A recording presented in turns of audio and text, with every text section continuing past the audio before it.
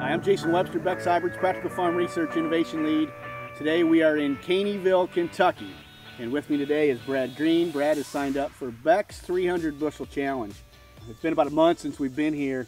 Tell us a little bit about the weather that you've had throughout the month of June and so far in July. The month of June was very wet. We probably had 10 inches of rain. In July started off very wet. We've had five, at least five inches of rain so far in the month of July.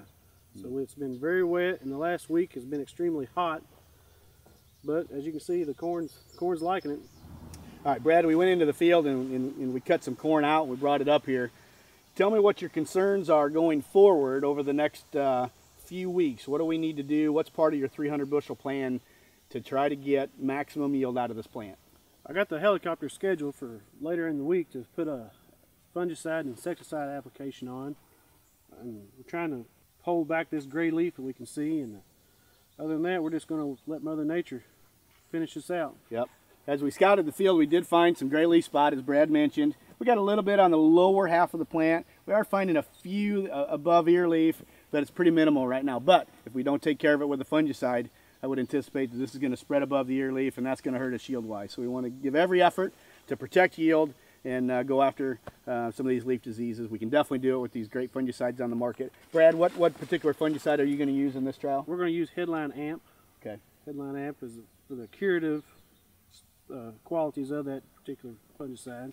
Yep, looking at a, a, preventative and a curative, and you're going to spray that with a helicopter, with correct? With a helicopter. Now, Brad, as, as we progress through the season here, has any part of your 300 bushel plan changed, either with the weather or some of the conditions we've had out here in the field? No, not really. We're we're right where we intended to be when we entered the challenge. Uh, the tissue sampling we done, we're we're right on target where we wanted to be, and if we get the fungicide applied, I think we're I think we're going to be in good shape.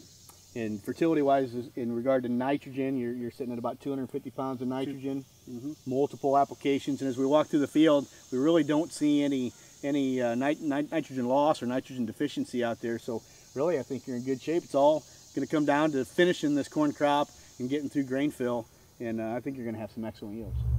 One of the questions we always get from growers is what does it take to grow 300 bushel corn? What do we need to see out in the field with girth and length to achieve 300 bushel corn? And Brad, as we walked out in the field, um, we did a quick calculation. If we could get 18 round by 40 long at your uh, ear population of 34,500 ears per acre, what did that come up yield-wise? It's going to be about 310.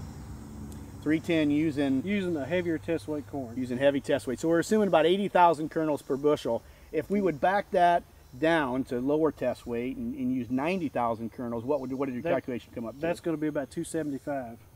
So yield checks at 275 to 310 based on how, how heavy this corn is going to be. So that's why we say grain fill is going to be so important. We need to finish this crop with great weather to get that grain fill and get that proper test weight, and we're on our way to high yield such as 300 bushel.